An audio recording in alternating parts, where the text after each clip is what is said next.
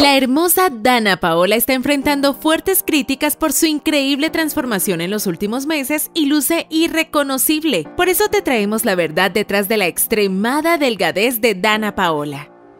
Sí, no es asunto tuyo. Cariño.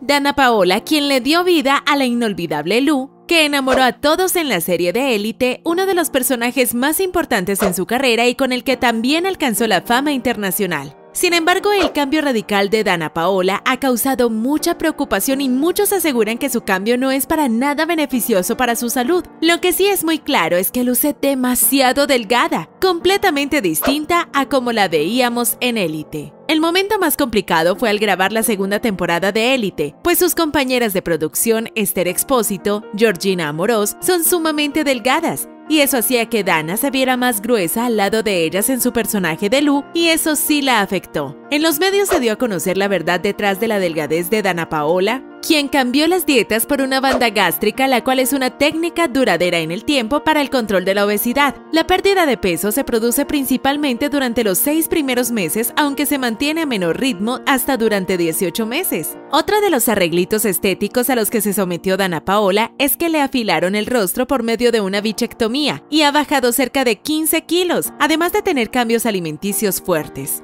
Hace algunas semanas, Dana Paola se presentó en los Premios Juventud en Puerto Rico y sorprendió a todo el mundo por lucir extremadamente delgada y los duros comentarios sobre su aspecto físico no se hicieron esperar, pero ella misma ha dicho que las críticas dejaron de importarle hace tiempo, pues ha estado desde hace muchos años en el ojo público y ya aprendió a no dejar que nada la afecte. Dana ha sido muy clara, incluso ese día en los Premios Juventud le preguntaron sobre su delgadez y ella contestó, hay que dejar de hablar de los cuerpos y opinar que sí esto, que sí lo otro, además aclaró que está sana. ¿Qué te parece el cambio de Dana Paola?